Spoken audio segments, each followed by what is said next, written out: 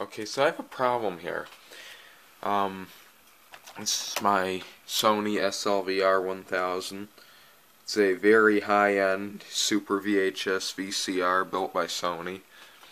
Um, but my problem is, I don't want to go out to eBay and buy SVHS tapes to record Super VHS. Because this machine does do Super VHS. But Super VHS tapes are not cheap anymore because the supply is kind of dwindling. Well, I've got this. I've got a VHS tape here.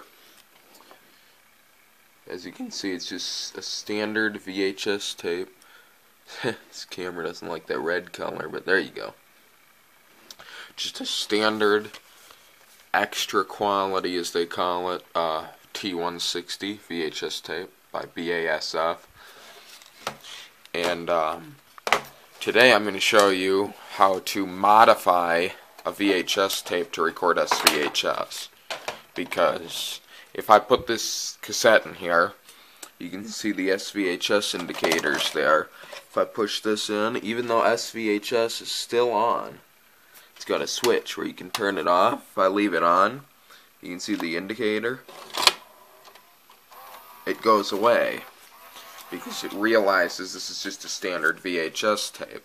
No matter if I turn the switch on and off or what, it doesn't come back. So, I'm going to show you how to modify a VHS uh, videotape to record SVHS on it. Alright, so now that we're back in the workshop, um, what you're looking at here is a tape that I've modified before. If I take this out of its thing, you compare the back. This is a VHS tape I modified for SVHS. And if you look over here, you'll notice something different about them. One has a hole, one doesn't. This is the VHS tape. That's what you have to modify to record SVHS on a VHS tape. That's it. You put it about, uh,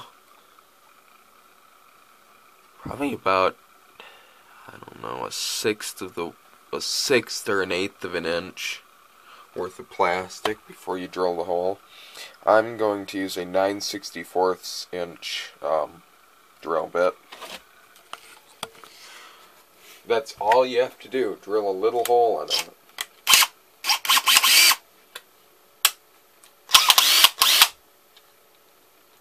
Pretty easy to modify a tape. Alright, so where you drill is eh, right about there should do it.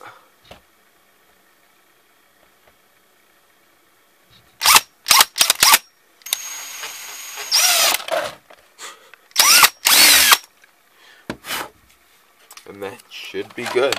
You see now, it's got a little hole right along that line. Let's go put it in the VCR and see how it works.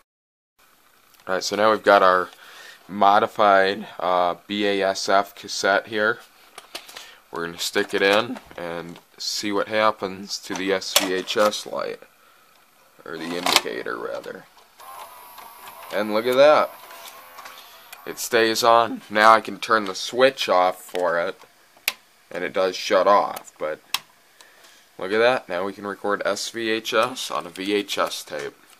Thanks for watching, and of course, have a nice day.